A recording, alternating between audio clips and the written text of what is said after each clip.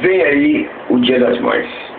E ao contrário do que muita gente pensa, a gente não pode ter só um dia para homenagear a pessoa mais importante da vida de todos nós.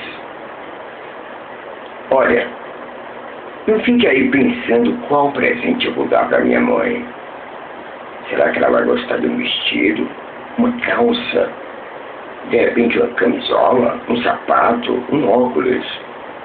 Nada disso, nada disso é mais importante que o seu carinho, que a sua atenção, que a sua dedicação. É isso que uma mãe mais preza.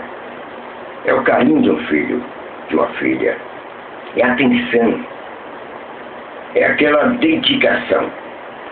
Agora, é claro, não só no dia tido como homenagem à mamãe, mas em todos os dias de todos os anos. Afinal, ela sempre lhe deu tudo isso e muito mais desde que você estava no ventre dela.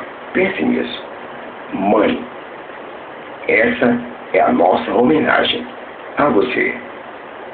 Feliz Dia das Mães para todas as queridas, lindas, mocinhas, velhinhas. Mamãe, esse é o seu dia. Essa é a nossa singela homenagem para você. Aqui nós da Rádio Nova Cidade FM, desejando a todas um feliz Dia das Mães.